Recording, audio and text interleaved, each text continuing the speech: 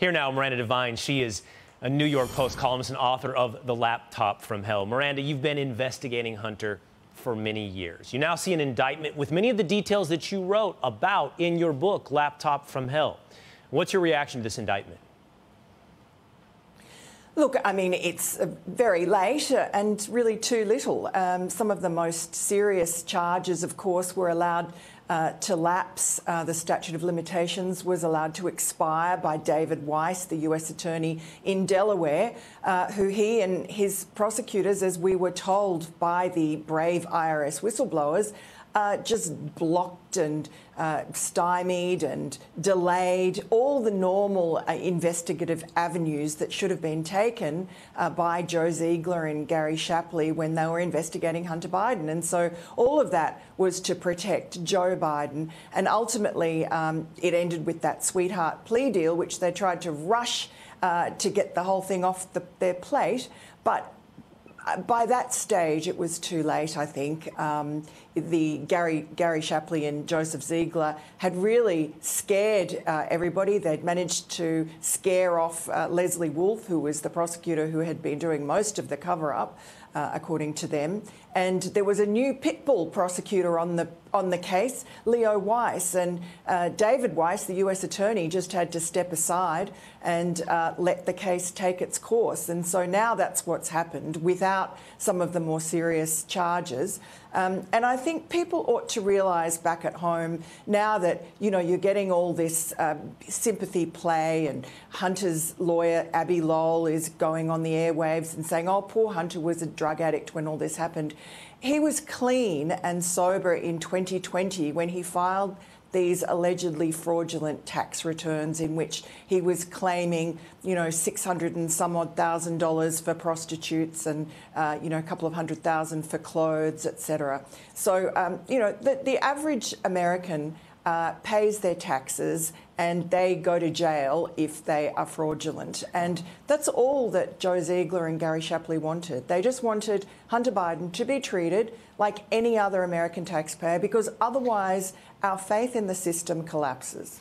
You know, Miranda, while the details of this indictment are scandalous, they're not truly the scandal that matters. The scandal that matters mm. is not how the money has been spent, but how the money comes in.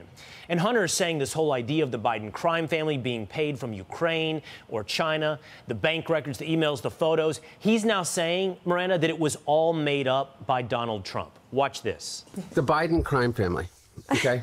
The Biden crime family. By the way, you guys, as a crime family, are yeah. really saddest crime family yeah. in history. no, like... but really, think about this, okay? My dad has been a senator since I was two years old. He has released decades worth of his tax returns. He has lived in the public light. We have lived in the public light. We have gone through four presidential campaigns. My entire life has been before the public. It took until, oh, lo and behold, Donald Trump figured out that somehow this is a criminal enterprise. I mean, are, like it I mean, begs I, I, credulity. But we sit here and we talk about it. And I turn on ABC Face Nation this morning, or see, and they're talking about well, Hunter Biden's plea deal and this, that, and the other thing, and who knows what happens with James Comer, and they may find. Are you kidding me? I mean, I really just like, okay, we're going to talk about Ukraine again. I would hope so. To the point, Miranda. I would hope so. this is the true scandal: how the money was earned, not how it was spent. And that's right. And that's why next week, um, when the Republicans uh, bring their vote to the floor for formalising this impeachment inquiry, every single Republican should be voting yes to that. And if they don't, you have to think that there's something suspicious going on and that they're being bribed or they're being blackmailed because there is no Republican who should not want to get to the bottom of this influence peddling racket, this corruption that goes right to the top of this country and that Joe Biden has been practicing for decades and he brought his son Hunter. I feel sorry for Hunter in some ways, uh, in as the bag man, and um, and now he's being rumbled. And I think in January there are going to be um, some witnesses that come forward to that impeachment inquiry that are going to cause Joe Biden a lot of headache. And you know it's hilarious that Hunter Biden mentions Ukraine and says, "Oh, we're not going to talk about that." Yes, we are.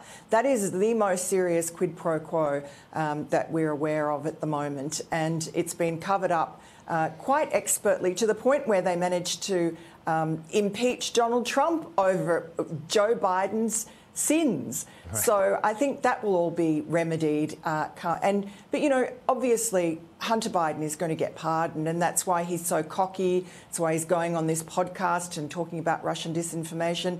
There's never any consequences for him. He doesn't care. Um, but that's really uh, irrelevant. He may be pardoned and never see a day in jail and remain, you know, rich and, and get famous. But, uh, but Joe Biden will be exposed as corrupt, and hopefully the influence peddling uh, that goes on in Washington will be stopped. Hopefully. Thank you, Miranda. Hey, Sean Hannity here. Hey, click here to subscribe to Fox News YouTube page and catch our hottest interviews and most compelling analysis. You will not get it anywhere else.